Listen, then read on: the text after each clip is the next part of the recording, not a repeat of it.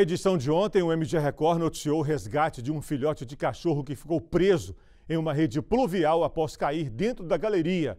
Foi na região central de Capelinha, no Vale do Jequitinhonha.